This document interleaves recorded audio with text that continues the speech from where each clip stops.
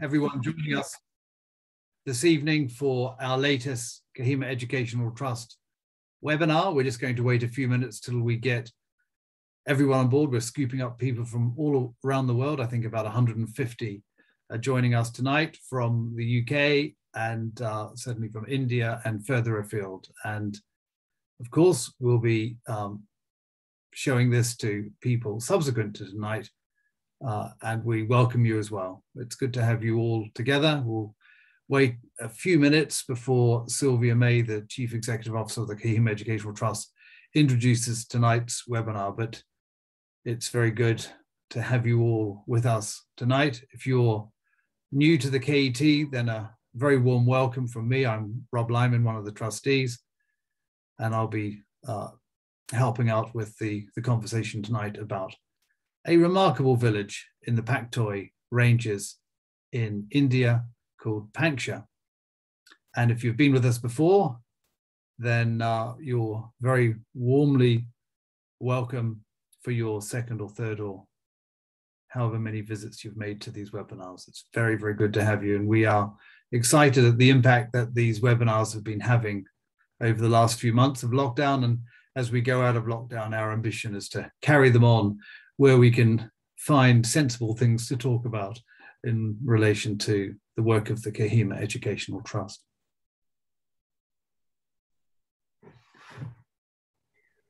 Well, hello everyone and welcome to another KET webinar. And this evening we are going to tell a story, as Rob has just said, of a most remarkable Naga village called Pangsha.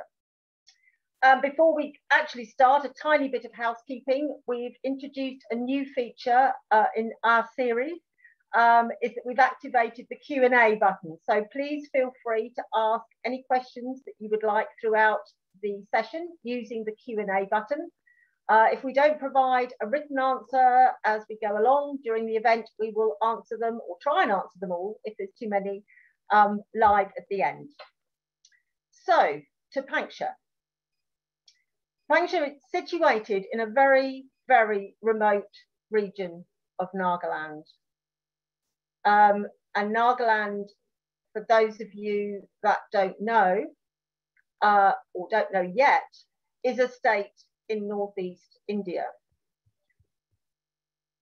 One of the seven states um, that make up the region called the Northeast.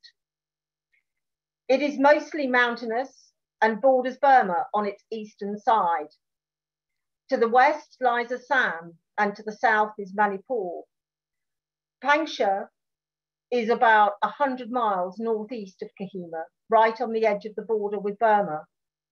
100 miles of extraordinarily rugged terrain with 7,000 foot high peaks, steeply sided and covered in jungle. And as you can see, it is not easy to reach even from Noklak, which is the nearest town, and that's two hours away. Rob May, my husband, and I travelled there in 2009. Our friends in Kohima had, on behalf of KET, conducted an educational needs assessment for the most disadvantaged children in Nagaland and identified the area as one of the poorest and the area where KET might be able to help. Pangsha is in the Tuensang district, where in 2001, literacy rates were just over 48%, well below the state average. Female literacy was also identified as a particular concern in these more backward areas, as it too fell below the state average. The village of Pangsha and its neighbouring village of Dan had one small mission school, which served a wide area, children coming from as far afield as 30 kilometres north, south, and east. Without transport, the children walked, taking many hours to reach their place of education. Without the means to travel back and forth each day, they would have nowhere to sleep with a roof over their head, which is why we were there and what we were there to discuss the building of a hostel. The journey was an epic we left Kohima at the appointed hour of 4 a.m. and 17 hours later, we arrived in Pangsha. We had an enormous amount of support and help to get there, for which we remain deeply appreciative. We certainly could have not done it alone. Particularly helpful were the cars and support team provided by the minister in the region as they travelled through areas which would have been impossible for us to do so alone. Stopping at various points along the way for refreshments, fixing a flat tyre in a foot of mud, all gave colour to the day. We arrived in the dark, but despite the hour and the rain, we were warmly greeted and, of course, given a delicious meal of chicken and rice. The following day, again starting at 4 a.m. with the cockerel announcing the dawn, I think he was lunch later on, we watched as a procession of women and children in their ceremonial dress made their way up the hill, carrying a multitude of pots and dishes of food. Fürer-Haimendorf gives a wonderful description of this ceremony, which is extracted in Rob Lyman's book, Among the Headhunters. You can see here the ceremonial hornbill feathers that are worn and the few men in the centre with mithun horns attached to their headwear to show that they have captured heads. All in all, I have to say it was one of the most memorable days. We were treated to a resounding show of singing and dancing, which our hosts insisted we joined. And here you can see my husband learning to celebrate Pangsha style. And he will now take on the strands of the story.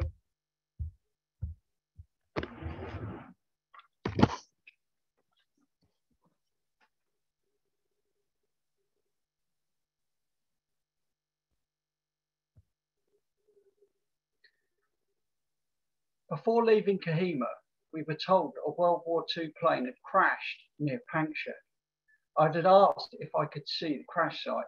I was told there wasn't much of the wreckage left, as over the years the village had used most of it, but there were several larger pieces which would be of interest. When we got to Pangsha, we were taken to meet the oldest man in the village. He was 110 years old. I did ask how he knew his age. I was told that they use a slash and burn technique where they cut the jungle down and burn it, leave it for several years, then cultivate it. This is done over several acres in a four year cycle. I thought what an interesting way of keeping track of time until I was later told that sometimes it can be a three year cycle.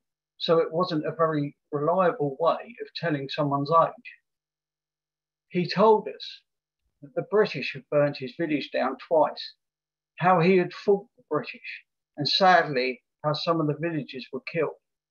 I asked him why the British had attacked his village twice. Headhunting, came the reply. Being a British citizen, I was glad my head was attached to my body when I got back to Kohima. He went on to tell us about the aircraft that had crashed near the village and how men were seen floating, floating down from the sky under cloth.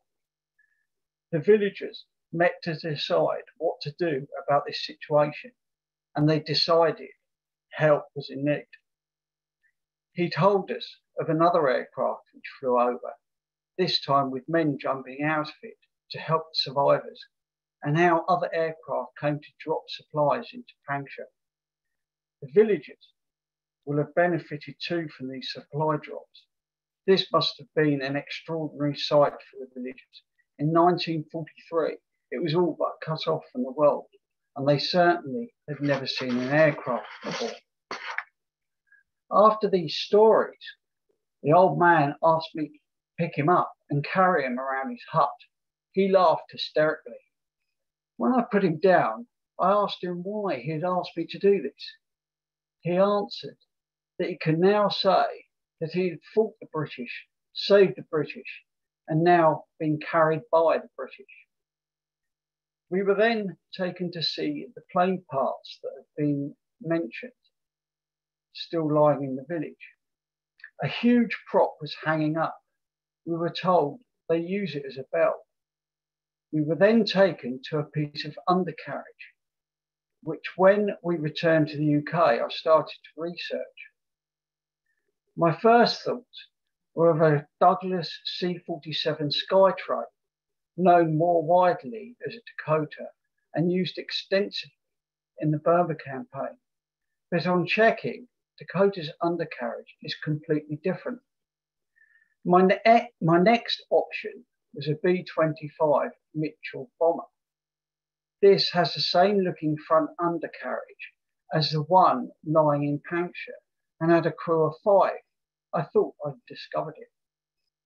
I started looking for any information about B-25s that had crashed in the Pangsha area. Whilst in this process, I found out that the US Air Force were flying C-46 Curtiss Commandos over the hump. The C-46 had been rushed into service and the early ones were unreliable. Pilots and ground crew knew them as the Curtiss Calamity, Plumber's Nightmare, or alternatively, the Flying Coffin. Continuing my search for a C 46 plane, which had crashed around Pangsha, with complete luck, I came across a Reader's Digest article extracted from Eric Sevareid's Not So Wild a Dream. In the extract, he described how 21 people bailed out of the C 46, 20 of them surviving and being looked after by the village of Pangsha. I found the plane. I immediately ordered a copy of Sevareid's book. One whole chapter in the book is dedicated to the plane crash and the survivor's story. I also found articles written by John Davies and John Neveu, the pilot. I discovered that the plane carrying the team who parachuted in to rescue the survivors was the birth of what was to become pararescue. It turned out that this was their first and their most successful, rescuing 20 people. For those who don't know pararescue, it is a special unit in the US Air Force dedicated to rescuing military personnel. Their motto, the things we do, that others may live, is very apt. I took all this material to my father-in-law, Gordon Graham, and said there is a book here. He read it all and agreed. The next thing was to find an author. Due to his extensive knowledge of the Burma campaign, there was only ever one person to ask, Dr. Robert Lyman, who initially didn't sound very interested. Thank you, Rob. Uh, the, the truth is that I was very interested, but I wasn't sure how I would squeeze it into my, uh, my working diary. But um, the more I became uh, informed about the, the story of Pangsha, the more gripped I became of its story. And uh, we'll spend a little bit of time now just going back as far as 1936 to look at the recent history of Pangsha. And of course, this is a story that Rob and Sylvia and the members of the Kohima Educational Trust and the Kohima Educational Society in Nagaland didn't know anything about. But Pangsha in 1936 loomed large in the history of the uh, Eastern Hills of Assam uh, for all the wrong reasons. Pangsha was a very large village. It was the predominant village in the area that was not administered by the government of Assam. And we just need to have a quick uh, history tour now to bring us up to speed with the history of the Naga Hills. Uh, the British Raj, or the government of Assam, it was, as it was formally constituted at the time, uh, began to move into the Naga Hills in the 1870s, much against its will. Uh, it did so because the Naga tribes, there are 17 separate Naga tribes, all with their own separate languages, conducted, or many of them conducted, aggressive forays into the Brahmaputra Valley uh, against the uh, developing tea fields of Assam. The people of the hills, of course, went into the, the valleys in order to gain heads. They were notorious headhunters and also to gain other uh, material things that they can't and couldn't secure in the hills, not least of all salt. Salt, money, slaves, and heads. And because of these repeated depredations, the government of Assam regularly sent up forays into the hills, and one of the most famous ones being against the Angami town of Kohima in 18 in the 1870s on a couple of occasions, a significant battle took place at Kohima where uh, the British subdued the town, and um, and then, interestingly enough, decided to leave because their ambition was not to administer the Naga Hills, but simply to put down raiding. Uh, but as the years went by into the uh, early 20th century, another number of factors impacted on the history of this region. One was the rapid movement into the hills of Christian missionaries, most of whom came from the United States, and began, uh, these people began converting uh, the people of the Naga Hills to Christianity. Another very important feature of life in the hills was civil insecurity, the insecurity that exists between villages who, are, who feel threatened by other Naga villages. And this was a characteristic of Naga polity at the time. Large villages would grow and, and, and strengthen and dominate the smaller villages around them and dominate them politically and militar militarily by sending out expeditions to seize heads, capture people, capture slaves. And the stronger a village became, often the case was that um, instability was then engendered across the entire region. So to cut a very long story short, the story of the Raj, the story of the government of Assam moving into the Naga Hills was one generally in relation to or in respect of the, uh, the request by villages, Naga villages, for protection from the government of Assam. And in exchange for the protection given by members of the, um, the native police, which became the Assam Rifles, a small tax would be placed on the villages. And the inkstain effect of the empire in the Naga Hills thus grew with villager, village after village asking for protection. This was done in the face of opposition from Delhi and London, who balked at the expense of the, uh, uh, the growing empire, imperial commitments placed on them. Let's move on into the, um, the first quarter of the uh, the 20th century. And one of the significant features of the administrators sent into the Naga Hills, the, um, the deputy commissioners, the commissioner for the hill tribes was in Delhi, the deputy commissioners posted across the hill tribes.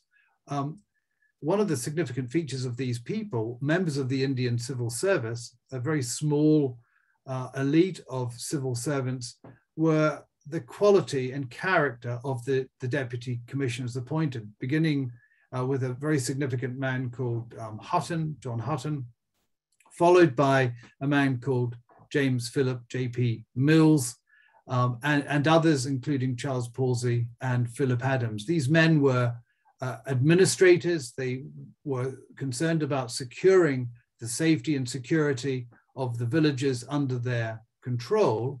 And as a consequence of that work, they became very, very committed anthropologically to a study of the Naga people. And these four or five men, uh, to, to these four or five men, we owe almost everything we know about the Naga tribes in the 19th and 20th centuries. And their legacy is quite an extraordinary one. But one of the problems, let's just go back to Pangsha, one of the problems that we had uh, in the 1920s and 30s was this issue with very strong raiding villages dominating huge swathes of the Paktoi ranges and the other hills in, in, the, in the Naga Hills. Um, these raids caused instability. Problem we had in the 1920s and 1930s was that the British were only concerned about um, administering law and order in what they called the administered area. Any part of the Naga Hills that was outside of the administered area, i.e. towards the, the, the border with Burma, was not um, legally administered. But people like um, Philip Mills could not turn a blind eye to the terror created in the Paktoi Hills by villages, large villages and violent villages like Pangsha. Bear in mind also that in 1929, Britain had signed the Slavery Convention, one of the significant features of the raids that one Naga village uh, undertook against another village and other villages was the seizing of children and women and slaves, individuals who would um, live for quite some time, often in the, in the Naga villages, uh, which uh, had captured them, until such time as they were sacrificed and their heads removed from their body. We don't have time tonight, I'm afraid, to talk about the, uh, the, the, characteristics of headhunting that um, featured in these villages. But if you, you are interested in pursuing it, then you can read it in, amongst other places, my book, Among the Headhunters. Here's a picture of um, Philip Mills with one of the slaves taken from the village of Pangsha in 1936, to which story we now move. So in 1936, messages had been coming back to the deputy or the assistant commissioner at Mokokchung, which is about 80 miles north of Kohima, uh, down to uh, Kohima itself, and also to the government of Assam in Shillong, that Pangsha was raiding violently other villages in the Paktoi hills and taking slaves and, um, and killing people. Well, this, this violence was a worry uh, for the administered area, but actually was very interesting that other villages in the unadministered area were also complaining about Pangsha, not least of all a village called Chingmei, which is relatively close, you know, half a day's march from um, Pangsha itself. And Chingmei um, was a Chang village, and the leader of the of Chingmei, not as the village isn't as large as Pangsha, but it was significant in its own right. Natural enemies of Pangsha had long been fascinated with uh, Britain and the government of Assam, and the gaonbura, the headman of Chingmei, Chiang Mai rather, had sent his son uh, um, to Mokokchung to learn the ways of the British uh, as early as the 1920s. So there, there was, despite the fact that um, Chingmei was in an unadministered part of the Naga Hills, there was a developing relationship between Chingmei and the British in Mokokchung and Kohima. Messages came through in 1936 that despite the slavery convention, Pangsha was behaving arbitrarily, seizing people, seizing slaves, and um, raiding other villages. So the British uh, had a conversation amongst themselves and the government of Assam. Um, much of the conversation uh, for a punitive expedition against Pangsha being undertaken by Philip Mills, who's second from the right here, smoking his pipe. This photograph was taken at the end of the punitive expedition, uh, which we're going to uh, talk about now. But the conversation amongst the um, the Assam uh, government officials was that Pangsha needed to be persuaded to cease its uh, raiding and its slave taking and its headhunting. And the only way to do that would be to demonstrate that it was behaving illegally and by and to do that required significant force. So a punitive expedition, an expedition to punish Pangsha for its depredations uh, was necessary. Now, punitive expeditions had been undertaken a number of times in the past, not always successfully. They required a considerable logistical effort. They were undertaken into enemy, territory. They were undertaken in quite difficult topographical circumstances. As uh, Sylvia has mentioned, these hills are rugged. Uh, they rise uh, between two and 3,000 feet in the valleys to 7,000 feet. They're corrugated, they're covered in jungle. They're very, very hard to traverse. But the decision was made, nevertheless, to launch a punitive expedition. And a raid was uh, a, a, force of about 150 uh, Assam riflemen and 360 Naga porters were assembled uh, to undertake the, uh, the march to um, Pangsha from Mokokchung in November 1936. And I've mentioned the, um, the, the environment into which the uh, punitive expedition would be marching.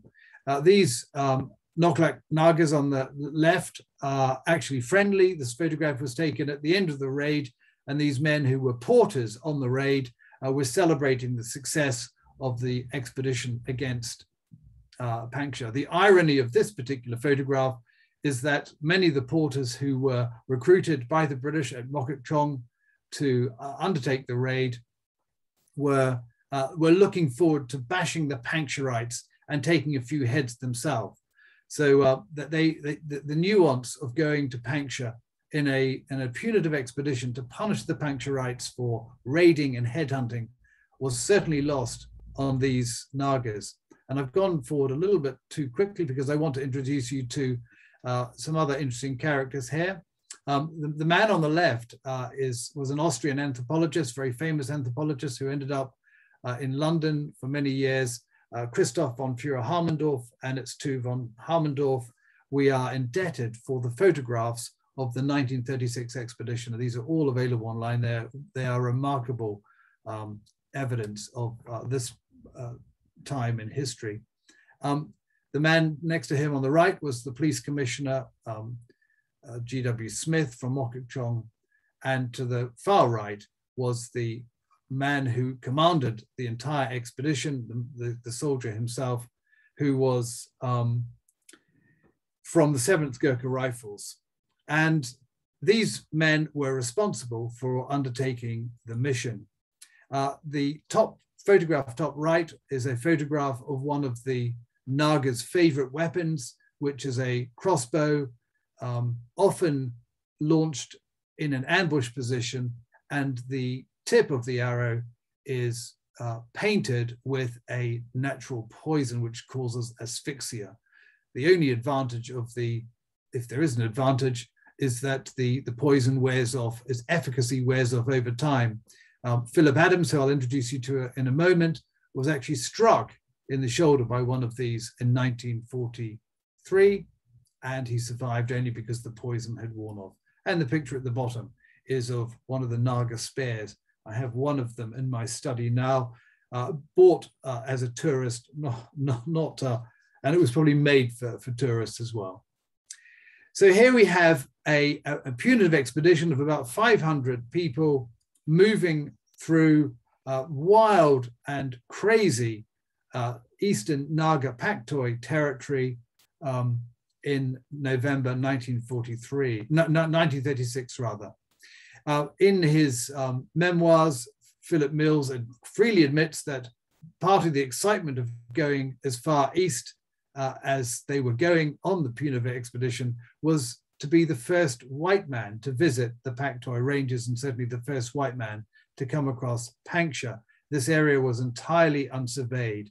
Much of the uh, western edge of the Naga Hills and parts of northern Burma had been surveyed by the Royal Engineers and the Royal Indian Engineers in the 1920s, but nothing had been done uh, in, excuse me, in these very, very remote parts of, of the territory.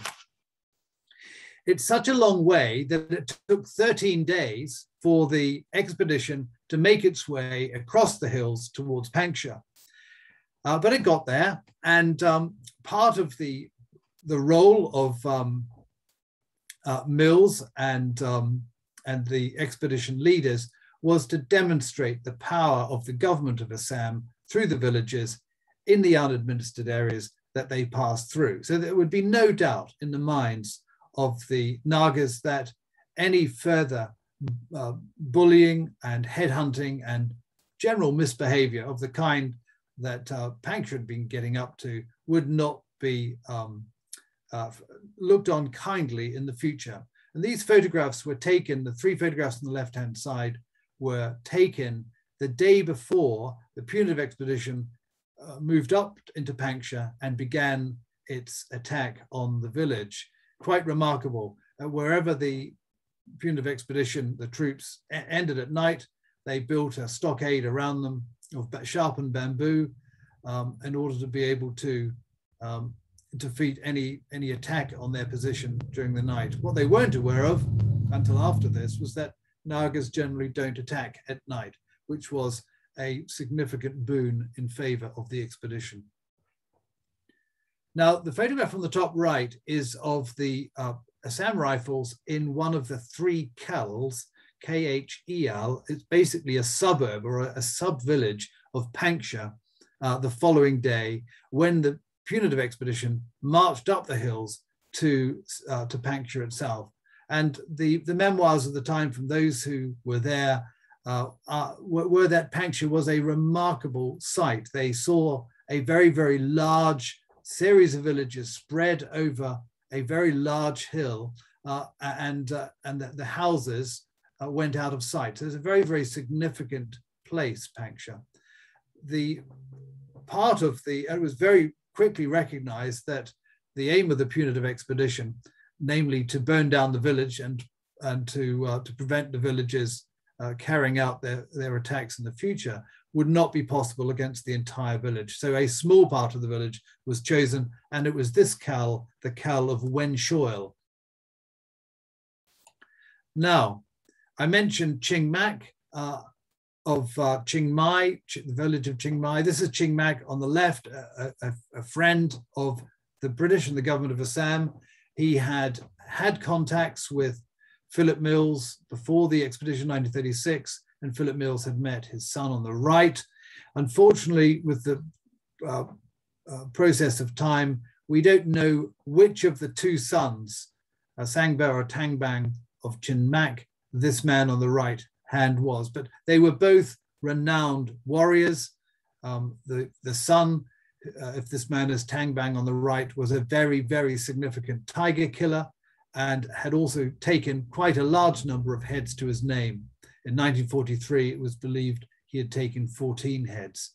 So this is the uh, these these are the tribesmen uh, who were on uh, the government of Assam's side, and these two individuals here, in a remarkable incident, are Mong Sen and we think Mongu, two of the leaders of Pangsha, who when they saw the expedition, the punitive expedition marching towards Pangsha, came down uh, in an attempt to parley with um, Philip Mills and offered up a small scrawny goat in exchange for Mills turning the expedition around. Um, Mong Sen, a very powerful warrior, um, very, very well known uh, in the region. It's quite extraordinary that we have a photograph of him here, taken by Christoph von Fürer-Haimendorf, um, was given, uh, was left in no doubt that uh, the the goat was insufficient um, to persuade Mills to turn around and that the objective of the expedition was Pangsha itself. And then we even have photographs the next day of the uh, Assam Rifles operation against uh, Pangsha village. Uh, and this is an extraordinary battle, in fact, which nearly went the Pangsharites' way. The troops moved up to um, Wenchoil. Uh, the part of the village was burned, and during the withdrawal, the Pangsharites under Mong Sen counterattacked with spears and arrows. Um, they were defeated under the disciplined rifle and Lewis gun fire of the Assam Rifles, but it was a close run thing. And um, a number of uh, the Pangsharite men were killed, and the, uh, but the Assam Rifles managed to get away and they moved back uh, intact without loss to Noklak, which is, as Sylvia said, uh, about a two hour march away from, from Pangsha. So that's the story of 1936. Here we have a village that was very, very dominant in the Pak Doi Hills. It was notorious for its raiding and its headhunting, and it had just received a little bit of legal punishment on behalf of the government of Assam, who were attempting to persuade Pangsha to desist from its its ways. And these are pictures that Christoph von Fürer-Haimendorf took of uh, Wenchoil ablaze. Now we need to leave November 1936 behind and leap forward to 1943. And Rob mentioned uh, earlier the, the, discovery, his discovery when he first went to Pangsha, unknown to any of us, of course, about this aircraft that had uh, fallen over the, um, the, the, village of Pangsha in 1943. And I need very briefly to explain why aircraft were there in the first place. They were there in part because um, of the, not in part, entirely because the Allied, of the Allied commitment to China, uh, Chiang Kai-shek, leader of the Chinese government on the left-hand side, um, and uh, Roosevelt in the middle, and um, Chiang Kai-shek's wife uh, on the right-hand side, uh, the Allies had committed to supporting the Chinese fight against the Japanese for very sensible strategic regions. The Chinese were holding down a very significant proportion of the Japanese army. The Japanese had invaded Burma, of course, as, a, uh, as part of its invasion of Southeast Asia in 1941-42 and had cut the Burma Road. All the supplies that had come until 1942 to China had come along the Burma Road that began in Rangoon, the port of Rangoon, traveled up through by rail to uh, through Mandalay to Lashio on the Chinese border, and then thereafter by road from Lashio into um, the Yunnan, Yunnan province and Chongqing, Kunming and Chongqing. And um, the Japanese objective in the Second World War in 1942 certainly was to close the Burma Road. They got more than that. They managed to push the British out of Burma completely. But in order to be able to keep up America's commitment to the Chinese, they launched an aerial version of the Burma Road, which was very quickly called the Hump, flying from Dinjan and Chabua in the northern Brahmaputra Valley here, all the way into Kunming and Chongqing, a uh, four hour flight over 700 miles over some of the most extraordinary mountain ranges in the world. Uh, because of the large number of uh, air crashes that took place, the uh, pilots and the aircrew of the Hump airlift called it the aluminum trail. It was, at, to that date, one of the most remarkable human endeavors of all time, the Hump airlift. Over the um, three years of the hump airlift from 1942 to 1945, early 1945, the C-47s, B-25s, C-46s, and a small and, and other aircraft carried about 650,000 tons of supplies into China and carried back Chinese troops for training in India. These troops would then be involved in the opening of the Ledo Road, which you can see there on the screen, from Ledo down to Myitkyina in northern Burma. Those 650,000 tons, when you consider that a C-47 or DC-3 Dakota, same aircraft, carries about two to two and a half thousand tons, constituted about 240, the equivalent of 240 sorties every day for three years. And until the Berlin airlift, it was the largest airlift of its kind. And indeed, the Berlin airlift um, was modeled on the Hump airlift, and the men who organized the Berlin airlift in due course were men who cut their teeth on the Hump. Now, the story of the air crash, a large number of aircraft, aircraft crashed on the route, some to mechanical failure, some falling prey to Japanese Zeros flying out of Myitkyina, others falling prey to the terrible weather. In this particular occasion, a C-46 that had been rushed into service without being proper, properly um, uh, prepared for active duty uh, took off from Chabua and in early August 1943 and began its flight to Kunming. And on board were 17 passengers and four crew. Now, ordinarily, uh, this was quite unusual because most of the, um, the, the stuff that was taken in the aircraft happened to be fuel or, or weapons or ammunition. Um, the C-46 and C-47s would take um, um, fuel, um, not jerry cans, but um, fuel barrels of, of oil and fuel. And this was an unusual flight in that it had, had such a large number of passengers. And not only that, but some of the passengers were quite extraordinary. We were only to find out when the Soviet Union collapsed that one of the men on the flight, Captain Duncan C. Lee of the, um, the OSS, the forerunner of the um, CIA, was actually a Soviet double agent um, a man in the pay of Moscow. Another man who Rob has already mentioned was Eric who was a very, very well-known uh, American war correspondent.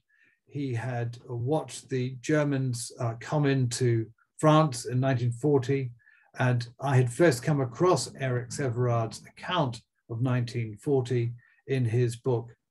And reading further on, uh, had twigged that Eric Severard had actually been in the Naga Hills. John Paton or Jack Davies was the political um, attache to General Stilwell. General Stilwell, Vinegar Joe Stilwell, was the commander of uh, American forces in the Northern Combat Area Command, or the entire China Burma India Theater, as the Americans called it, and, and, and the advisor to um, uh, Chiang Kai shek, and also the deputy to, to, to Mountbatten, and then Bill Stanton of the Board of Economic Warfare. So we had an aircraft that was flying to China with some very interesting characters on board. The story of the flight is again an extraordinary one. In order to be able to cross the Pak Toi Ranges, which are about uh, up to 12,000 feet, the aircraft took off over the lower ranges in the north, flying along the line of the arrow to Myitkyina. So the plane, first of all, had to climb over the Paktois and then it would reach a flying height of about 15,000 feet. Uh, remember, these didn't have oxygen, and it was about the highest the plane could go uh, without oxygen. And then um, from Myitkyina, it would then turn due east over the mountains into Yunnan. On this occasion, and you can see on the map, the location with the little red arrow here or is Pangsha. An hour into the flight, the, the port, the left-hand engine failed. And very quickly, it began losing height and the pilot, Harry Neveu, and his um, co pilot, Charles Felix, immediately recognized that they had to get back over the Pak Toi ranges. They would make for the emergency uh, landing ground at Jorhat, further down in the Brahmaputra Valley, um, where they would repair the engine, then go back to Chabua and try again. But because the aircraft was so heavily laden, it was dropping very, very quickly. And within a, a, short while, it was realized by both Harry Neveu and um, Charles Felix that the aircraft would not have the height to get over the mountains. The only option now was to uh, what was for the aircraft to crash. And if the men were to survive, they had to jump out. Quite fortunately, there were enough parachutes. This was a United States Army Air Force air, aircraft, and they all had parachutes. There were sufficient parachutes for all people on board. And uh, I can't tell you the entire story, you're going to have to read the book, but in the, the largest involuntary evacuation of an aircraft ever, and the, the record stands today, 20 of the 21 people on board the aircraft managed to evacuate the aircraft. The last ones just before it hit the ground. They were lucky to survive. And the only person to die in the crash was Charles Felix, the co pilot, who stayed at the controls all the way to the end. The men who jumped out of the aircraft uh, had never been parachute trained. They'd never been instructed on how to put the parachutes on, even. Um, but they all survived. Uh, a small number ended up being looked after by some Nagas in a village called Ponyo uh, over the border in uh, Burma. But the others floated down very close to a large village. And of course, these people had no idea where they were. They had no idea that actually they were floating down over a village that was one of the most notoriously aggressive headhunting villages in the entire Paktoi range, and a village that was way outside the control of the government of Assam and the government of Burma. I was quite fortunate they didn't know that. Otherwise, they might have uh, undertaken some precipitate action when they landed. They didn't. And the story of the, uh, the, the landing is that within a very short while, as Rob mentioned, the villagers of Pangsha agreed that they would go out and they would bring in the parachutists uh, and they would look after them. Now, the villagers of Pangsha had seen aircraft in the sky before, but a long way up on the odd occasion that they had the aircraft had flown over Pangsha, they'd been flying at a great height, 12 to 15,000 feet.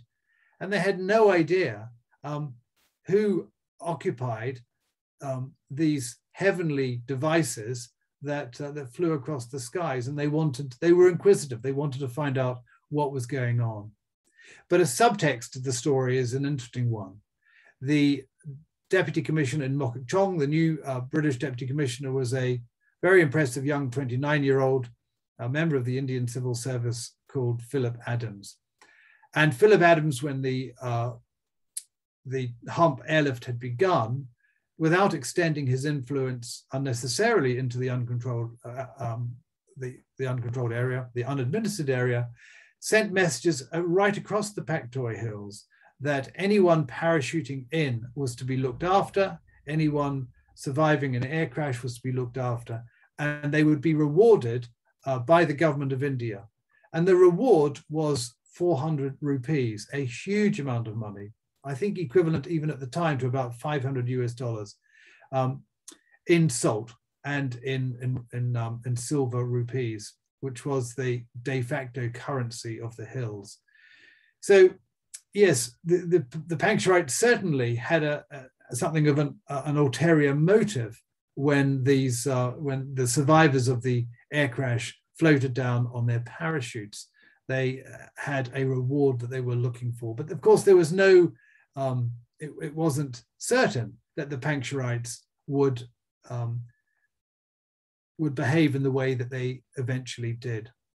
To cut a very long story short, the engagement between the survivors of the air crash and the Pangsharites was an extraordinary anthropological uh, one and a really exciting one. Um, John Paton Davies, Jack Davies, um, left a fabulous memoir of his time uh, in, in his own uh, his own memoir, and uh, Eric Sevareid did likewise, and there are a few others, including Harry Neveu, the, the, the captain of the aircraft.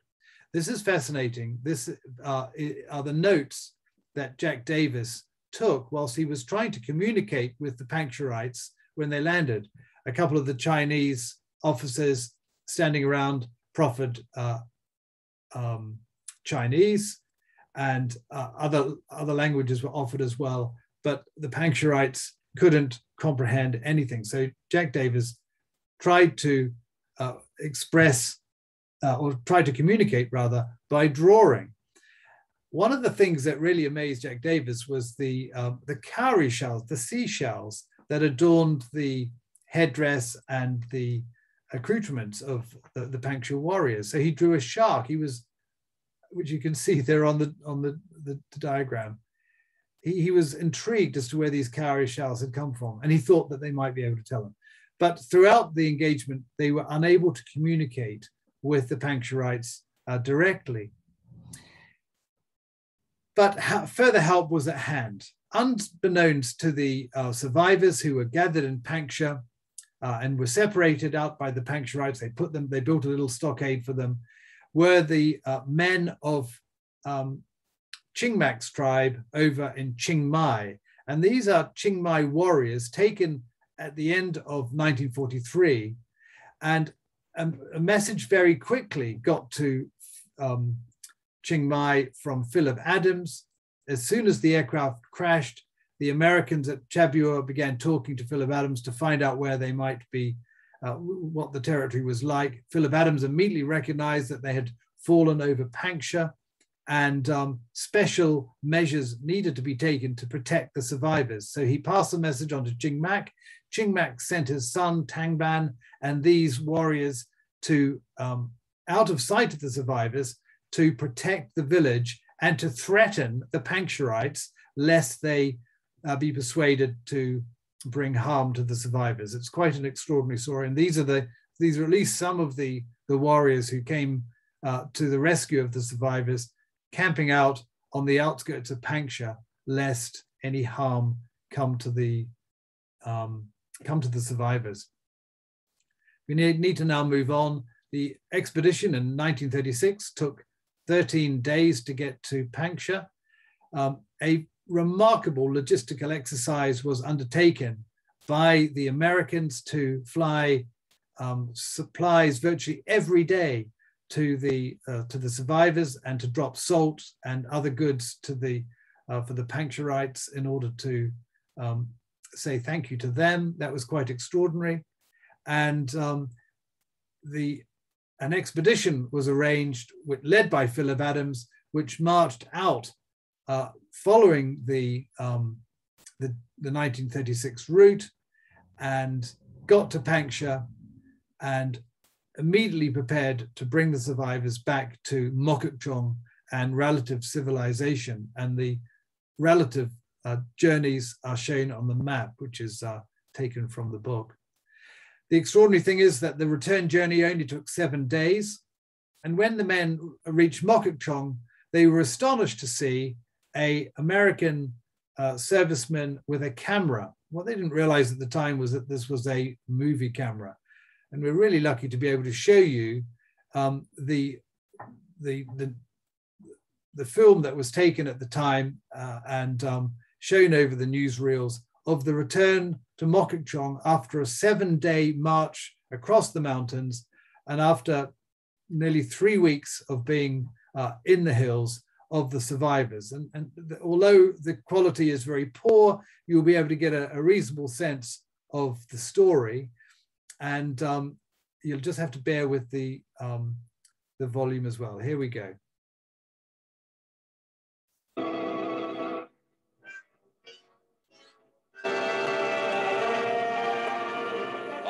Wild Assam mountains of northern Burma, rescue planes search for 20 men forced to parachute from a China-bound transport.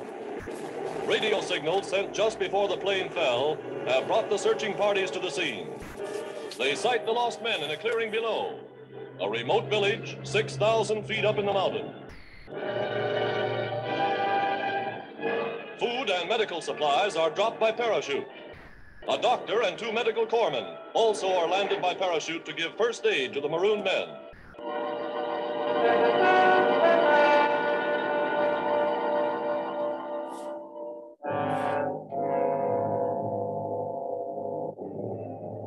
Strangely enough, these primitive natives, once headhunters of the jungle, proved to be the white men's best friends. They fed and sheltered the stranded party until help arrived from the skies. Three long weeks, the natives led the survivors through the wild, uncharted country, back toward the India frontier. His leg broken, the bearded flight sergeant who sent the message for help is borne by carriers.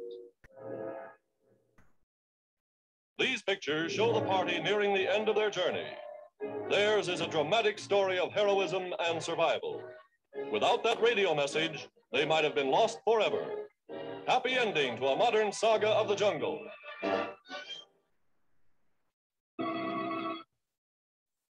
Well, all's well that ends well. Uh, there's uh, the only photograph I can find of the remarkable Philip Adams, top left, taken at Mokokchung at the end of that remarkable feat.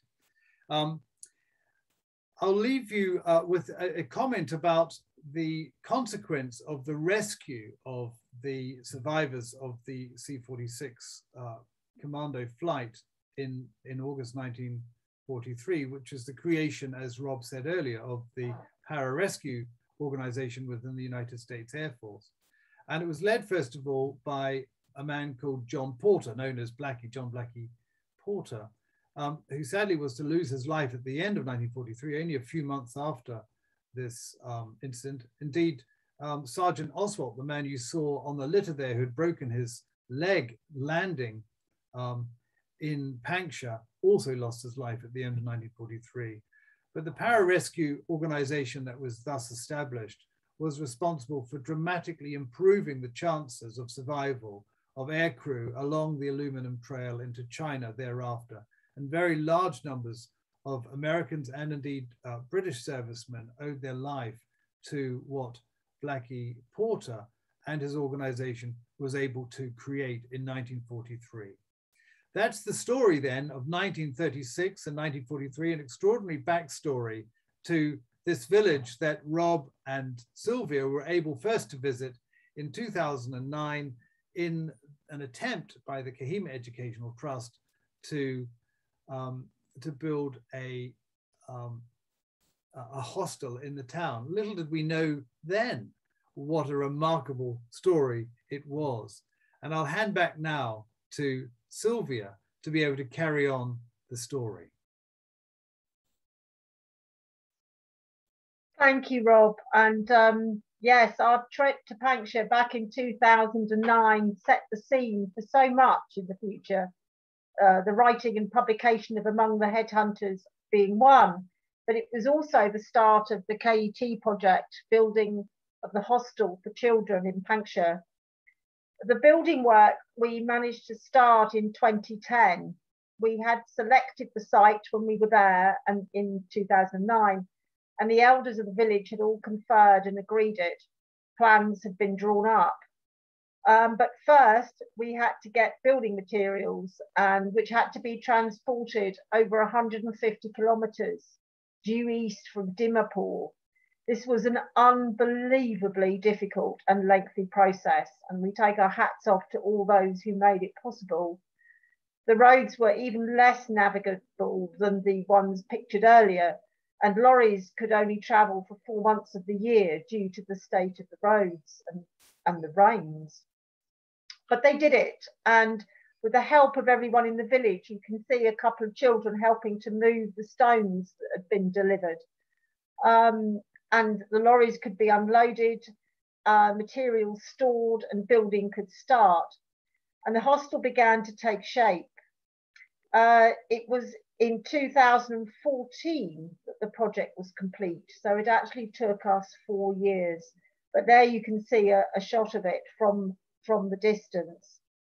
Um, I will say here that without the support and help of our team in Kohima, this project would not have been completed. It was enormously hard work for all concerned, and we remain indebted to them all.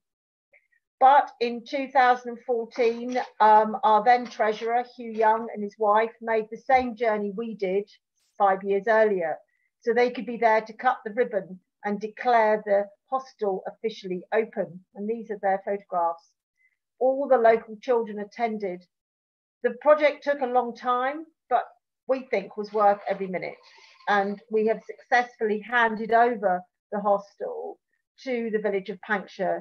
And it is really good to hear reports of how well it is being used and uh, how um, valuable it is to everyone in the area. So thank you for your questions, which we're just going to sort through. Um, meanwhile, if you would like to purchase a copy of Among the Headhunters, please go to our website where copies are available. Um, they are available from all good bookshops, of course. But if you buy it from our website, thanks to Rob Lyman and his publisher, the proceeds will go to our work in Nagaland.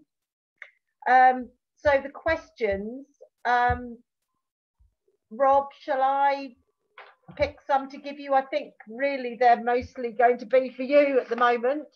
Um, uh, we've had a question saying, are the Nagas unusual in the region um, as they're headhunters, which is normally associated with tribes further east?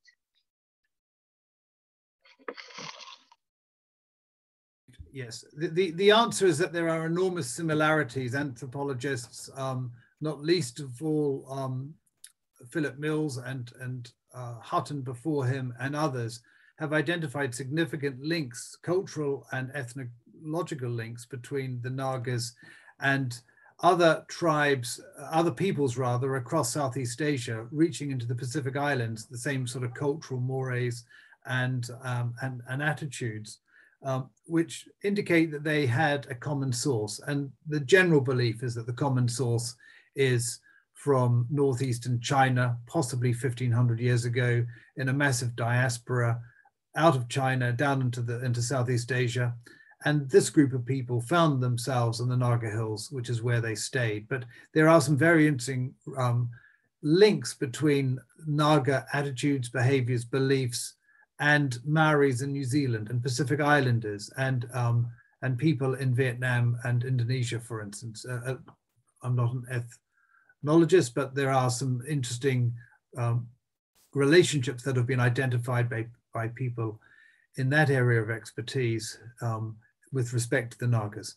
One of the extraordinary things, of course, is that the Nagas um, highly prize cowrie shells from the sea. They're as far from the sea as you could possibly imagine. But um, this is some deep link to their past where which they have carried with them over many, many hundreds of years. Thank you, Rob. Um, before I move on to the next one, I know that there's lots of you who are raising your hand. Um, would it be possible for you to ask your question either on the Q&A tab at the bottom or on the chat? I'd be very grateful. Thank you. Um, um, Philip, Wood, I'll just say Philip Woods has asked the question. Um, who, Philip, by the way, is writing a, an amazing book at the moment. we're all looking forward to it about um, uh, the, the work of the war correspondents during the Burma campaign. But uh, the, Philip, I'm really embarrassed to say that I've only just discovered, in fact, it wasn't me who discovered the, um, the newsreel, it was Rob May who told me about it several weeks ago. And even you know, when I was researching and writing the book, I didn't even know this existed. I know that Eric Sevareid had mentioned that he had come out at Mokokchung and there was someone filming him uh, with, a, with a movie reel, but that's all he said. And I, so I knew something existed. And you are right.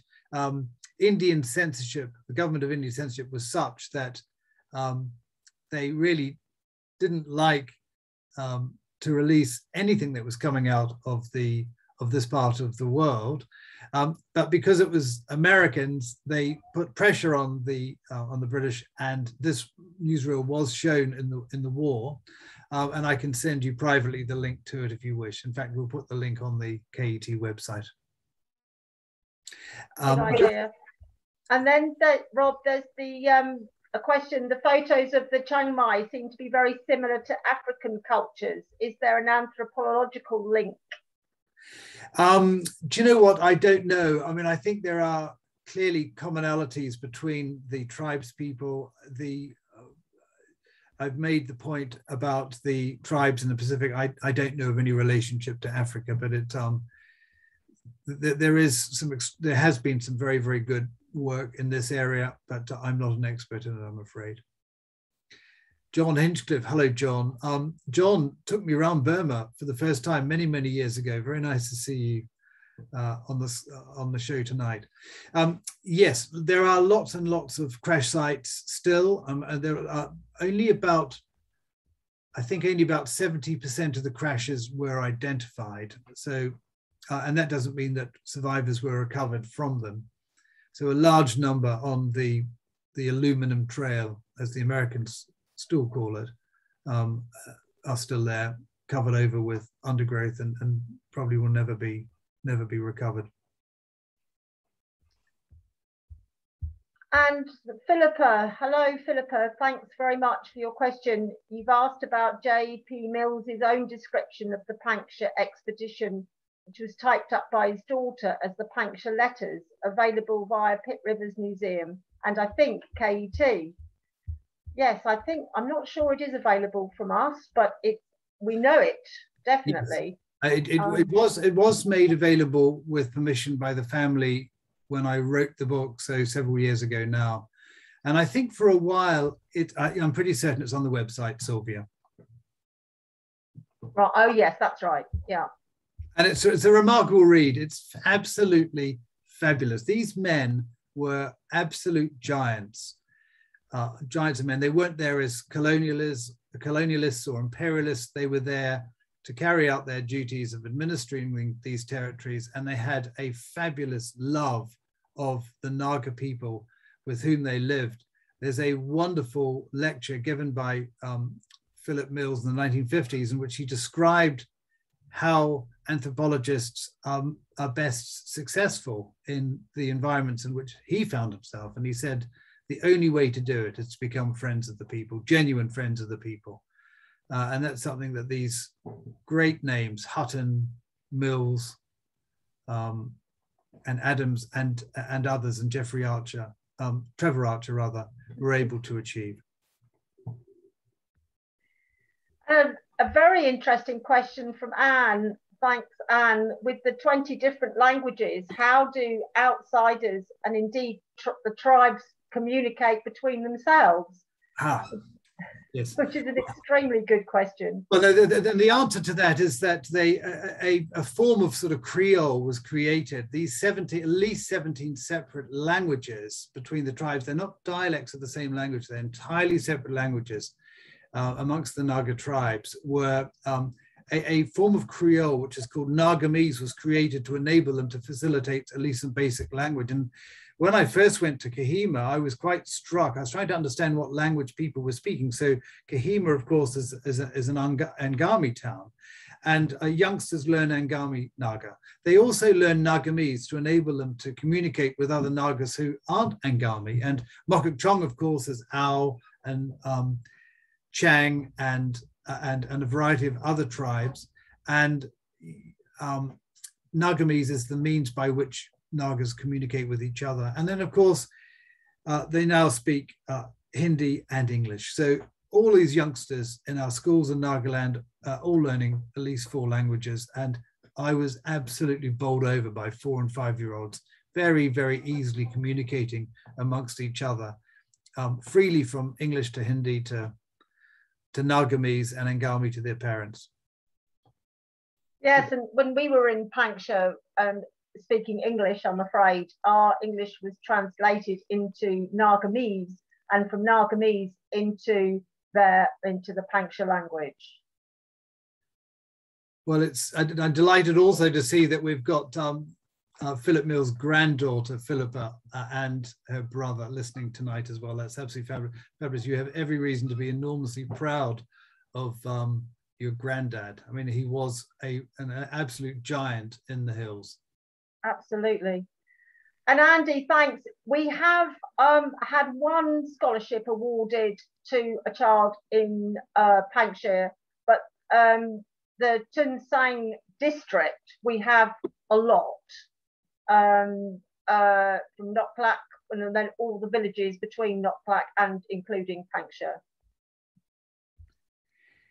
Um, and George, thank you, George, for that excellent question. Uh, George is an expert in the story of the 23rd uh, Long Range Penetration Brigade, a Chindit Brigade in the Naga Hills in 1944, um, which Ben Brownless's father was part of. Ben is one of our trustees, and Philip Brownless was in the uh, in, in 23 Brigade. And um, George asked, was the empathy for the British Indian Army in 1944 based on a different set of experiences of colonial administration in the Panksha area in the 1930s? I think that the answer is yes. It's quite extraordinary that for the most part, uh, Naga people supported the British uh, effort to defeat the Japanese or to fight the Japanese because of the benign administration, uh, colonial ad administration in the hills.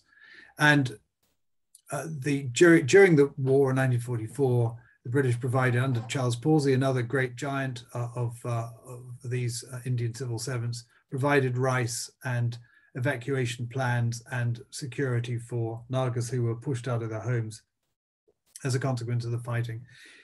With town or villages like Pangsha, it was a slightly different story. And as you heard, people like Philip Adams had to persuade the Pangsharites to toe the line by offering them significant inducements. And 400 rupees at the time was an absolutely extraordinary, was a king's ransom.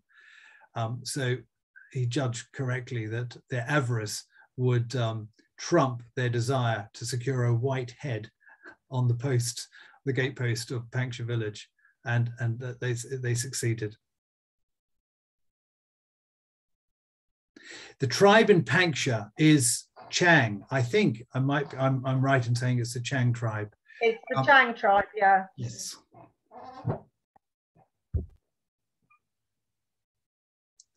And have we finished all of the? I'll just look through any other questions. I think we have any more questions from anyone. Thank you for all your lovely comments in the chat. Very nice. And um, I mean, thank you so much for joining us. Um, we wouldn't do it if you weren't wanting to listen. And uh, we love it. Um, big thank you to Rob because he's a, an extremely busy man, as I constantly say. We're very lucky to have him. Um, so thank you all for being here tonight. Um, I don't think there's any more questions. So we hope you enjoyed it and we hope we'll see you again next time.